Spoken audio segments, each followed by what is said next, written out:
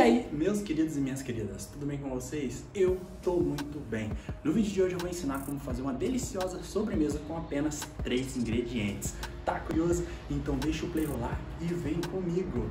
E lembrando que todos os ingredientes estão aqui no primeiro link da descrição, que é lá no nosso site www.cozinhadazoeira.com. Deixa não se esquece de deixar aquele like, se inscrever no canal e deixar um comentário.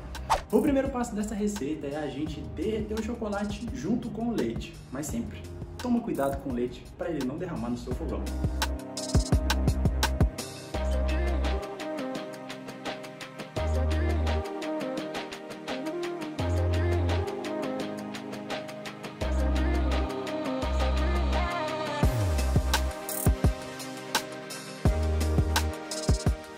Agora a gente vai hidratar a gelatina conforme o fabricante. Normalmente é 5 colheres de sopa de água fria, mas sempre lê o rótulo, né?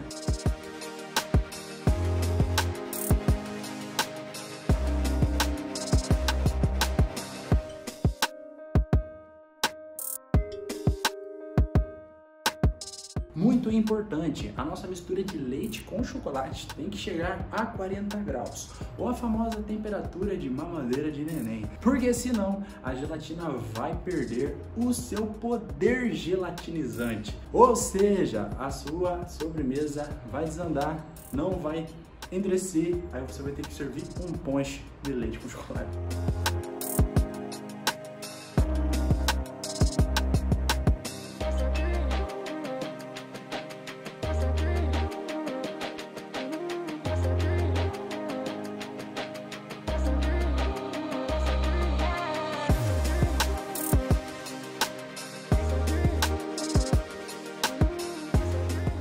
Esfriou, você colocou, agora é só bater tudo no liquidificador e depois levar para a geladeira por aproximadamente umas 4 horas. Vai ser o tempo de firmar essa sobremesa.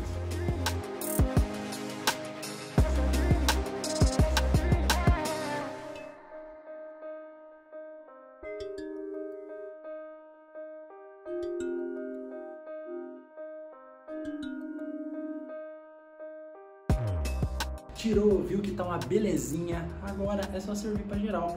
Você pode fazer numa forma naquelas de flan para você desenformar, mas aí lembra de untar com um pouquinho de óleo.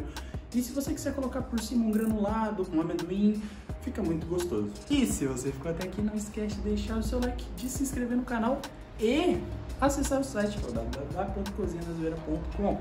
Também segue a gente nas redes sociais, do Cozinha da Zoeira. E fora isso, vem comigo, eu quero ver quem vai fazer essa receita aí. Não, essa receita é muito gostosa.